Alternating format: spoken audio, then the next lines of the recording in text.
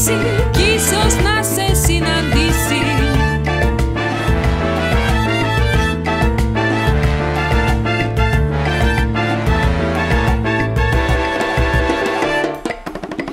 Εσύ σαν αυτή καλά